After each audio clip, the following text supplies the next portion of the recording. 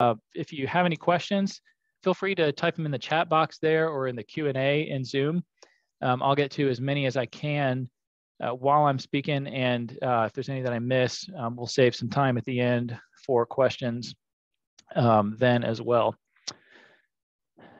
So today we will be talking about things you should consider before you quit your job and go full-time in self-storage investing.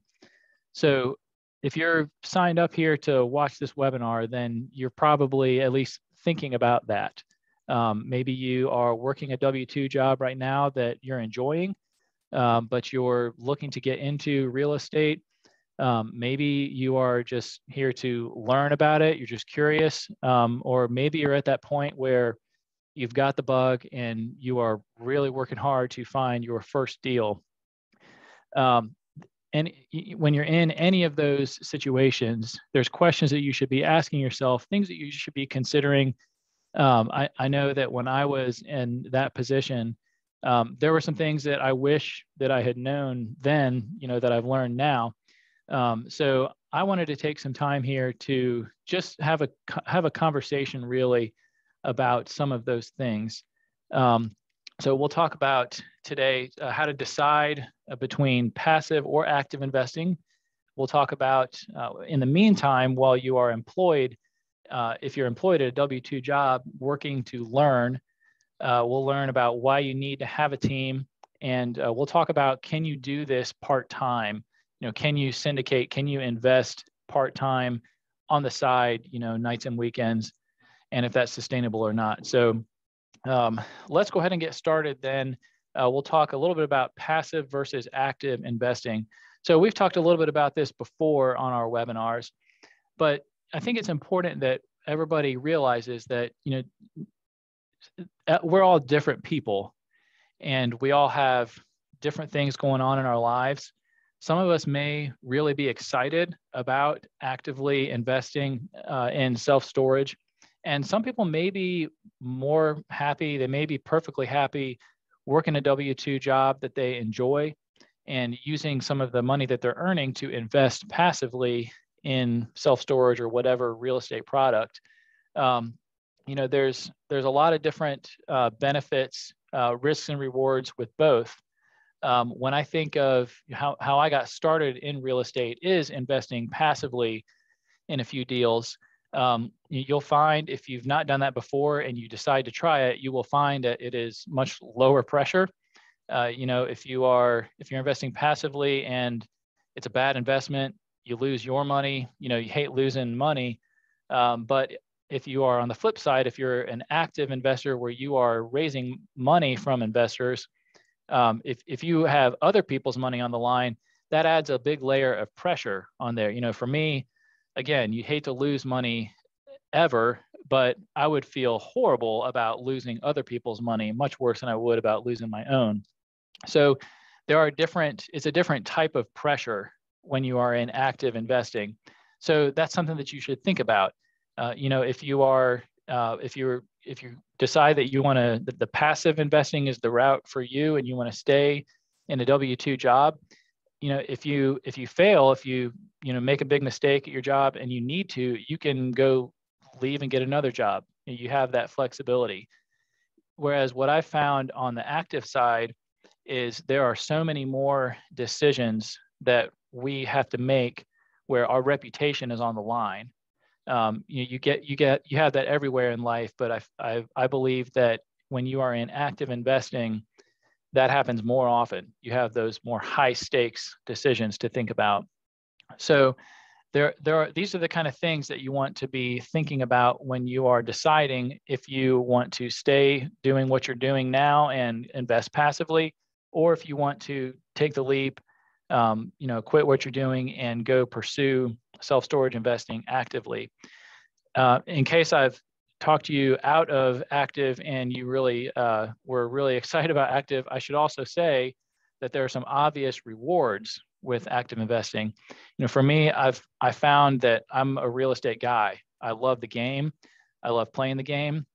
And there are financial rewards as well to this um, to the to investing actively. So for me, it, it turned out that for my family, Uh, for me personally, that was the route that that I wanted to go. That was the route that made sense for everybody um, in my life. but what I'll say is this: if you are on the fence or if you're just not really sure yet, my recommendation is to start by investing passively. So whether it's a, a syndication that you may find, um, like I said, we have offerings that are open right now uh, at passiveinvesting.com. Try try investing passively first because uh, for a couple of reasons. First of all, it'll help you learn real estate if you don't have a lot of background fundamental knowledge about real estate. It'll help you learn the process. Uh, you'll learn all the terminology, you'll learn strategies, and you'll learn a lot about whatever asset class it is that you choose to invest in. But then it'll also, in preparation, if you if you end up going the active route, it'll also prepare you to be a good operator um, or to avoid being a bad operator. Because if you are investing your money with someone else uh, who's responsible for that investment, they're going to do things right, hopefully, but they're probably also going to make some mistakes. And you will have a unique ability as a passive investor to see those those good and bad things uh, that are that are that are done by that operator and then that will inform you as you move on to putting deals together yourself. That will inform you on best practices on things to avoid and it will make you ultimately a better operator because you know firsthand experience what things look like to a passive investor. So that's my recommendation if you are still considering if this is something that you want to pursue full time or not, start by investing passively somewhere. Um, and I, that will, it'll give you a lot of knowledge uh, for if you decide to move forward with active. And you may also find, you know what, this passive investing stuff, I like this. And maybe that's where, that's the direction that you want to go. So that's what I usually recommend to people uh, when they're making that decision is start passively and you know, learn what you can learn there. If you decide that you definitely want to go the active route, you want to be an operator, you want to syndicate self-storage deals, and I'm imagining that a lot of folks who are tuning in here are in that camp, um, which is great. You know, once you've got that bug, you know, if you're if you're working full time right now, um, you know, you've got a day job and you're you're you're wanting to pursue self storage investing, once you've got that bug, you can feel a rush to get out of what you're doing now. I know that because I had that. Uh, when I kind of realized that, no, this is what I want to do long term, I felt like I needed to quit doing what I was doing, you know, immediately. And I was having trouble getting traction at the beginning because I was trying to do everything myself. And I'll talk a little bit more about that later. But I was in, I made the mistake of being so much in a rush that I missed out on learning opportunities where I was. So at the time, before I, the, the last thing I did before going full time into self storage investing was I was a CFO for a family office here in Charlotte, North Carolina, where I ran all of their commercial real estate portfolio. It was a fantastic experience. And there were, uh, there were times in my final months there where I missed out on lessons that I should have and could have learned at the time because I was so focused on getting out. Um, and uh, not because I was unhappy, but because I was really excited about self storage and investing on my own. Um, it's, it's, it's something that you will be tempted to do, but it's something that you should be careful that you don't do. Um, work to earn, or I'm sorry, work to learn is what I will say, not just to earn um, you know, if you are most likely you're in a career where there's still opportunities that you have that you can be learning lessons about business, learning lessons about real estate, just learning lessons about life as you continue on in that career. So be planning, you know, take be, be intentional and take actionable steps towards your investing career, but don't be so rushed to quit what you're doing that you lose out on opportunities to learn lessons. Work to learn um, is, is my advice there. Um, I'll take just a second here and check questions. I don't see any that have come in. I see one here. When investing passively in one of your funds, uh, what is the commitment time? Um, so it, yeah, that's specific to passiveinvesting.com, I think the question is uh, how much time do we have to get in uh, our funds uh, once you commit to an investment? Um, that will be in the offering memorandum if you it, um, if you do sign up. You, what the way the process works for us in a nutshell is you will submit a soft commitment, and that's saying that you're interested. You know, this is what you want to do, and then you have a certain amount of time to get the funds in um, to secure your spot. Um, all those details will be in the offering materials. So um, I'll, I'll refer you to that, but good question. Um, okay, I'll uh, keep moving here uh, since I don't see anything else. So I also want to talk a little bit about why you need a team. And this is going to sound kind of obvious, but uh, this is something that I learned very much from personal experience is two things. You're not good at everything and you don't have time to do everything. Um, this we're all again, like I said at the beginning, as we all know, we're all different. We've all got different skills. There are so many pieces of real estate that have to be run well that you cannot be good at all of them.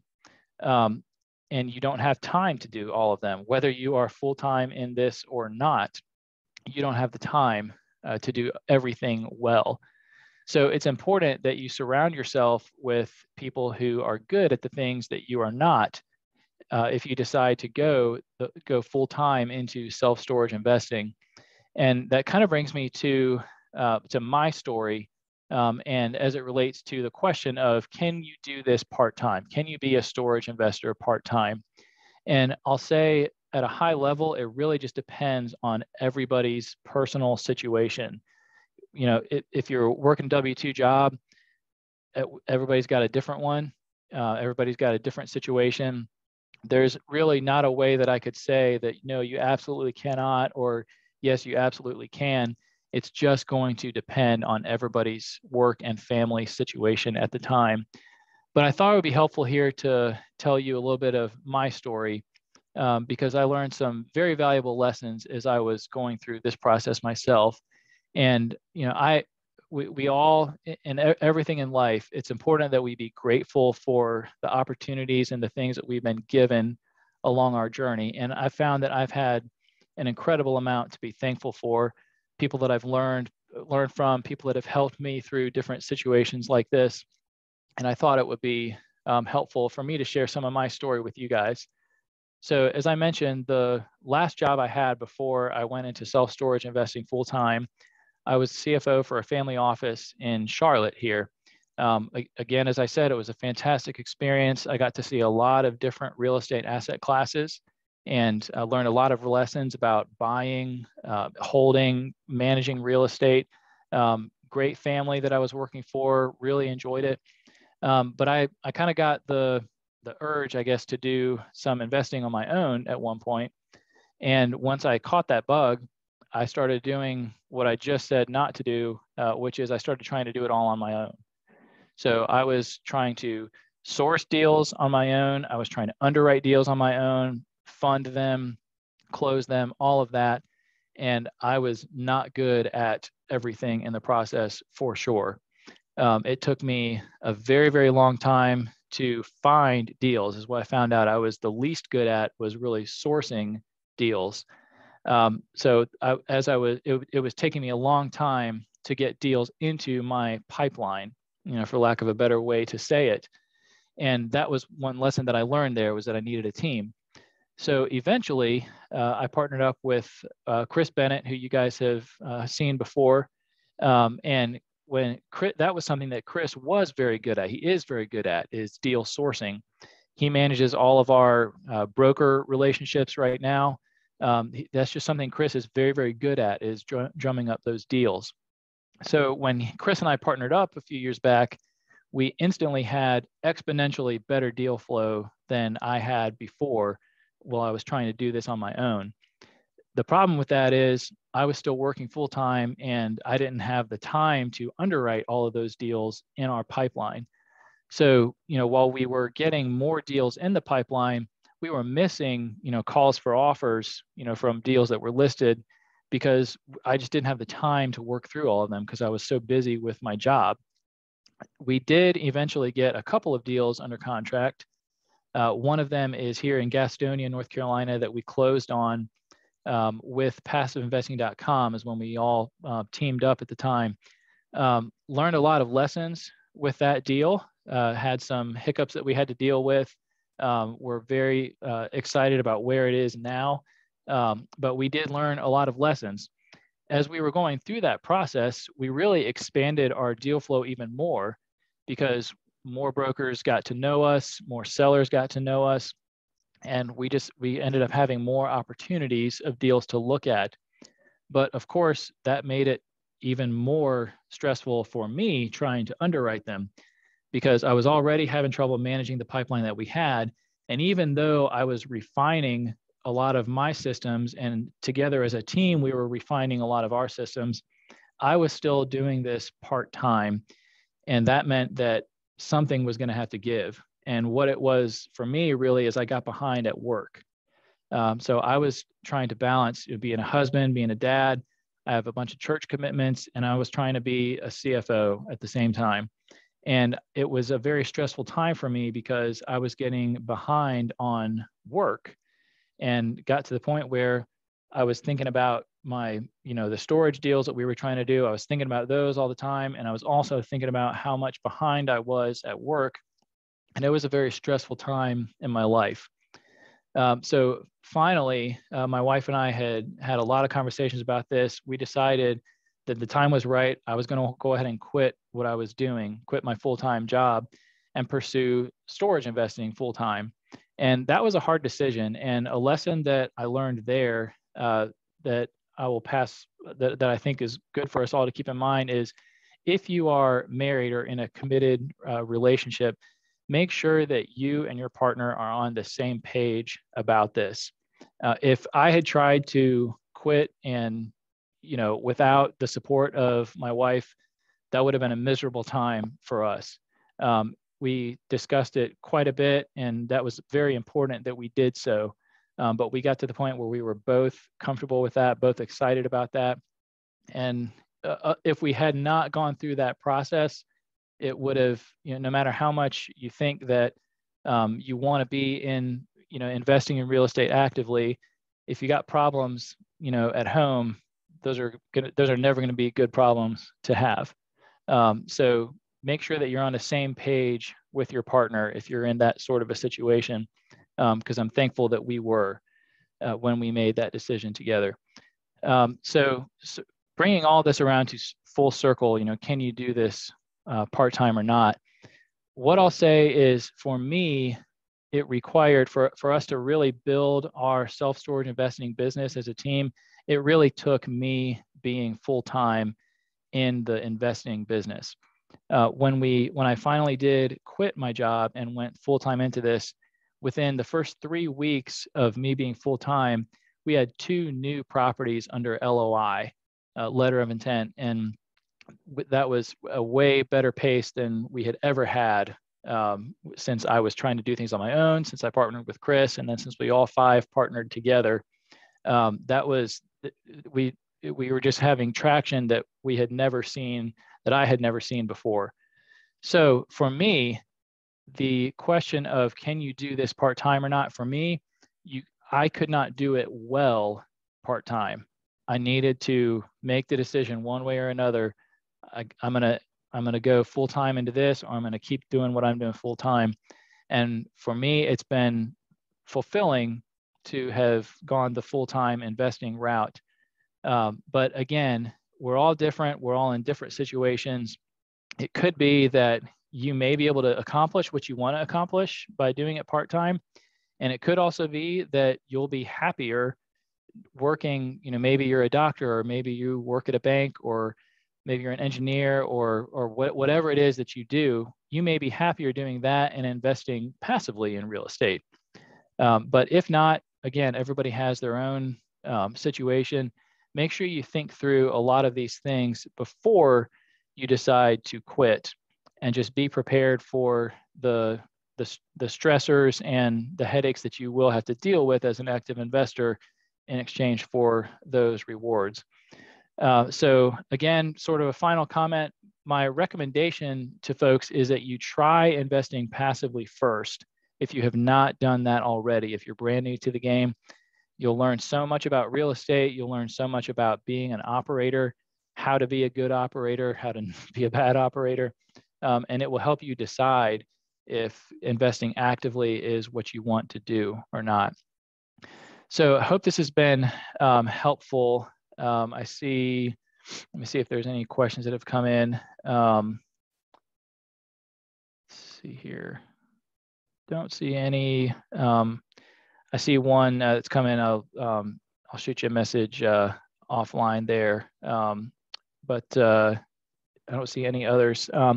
So uh, we'll go ahead and wrap it up here for today. Then um, again, if you have not gotten your ticket yet for the Storage Investor Nation Summit, um, definitely sign up. Uh, the link was posted in that earlier um, you will miss out if you're not able to uh, to join us. So highly recommend that. Thanks everybody for uh, attending here, and uh, we will talk next time.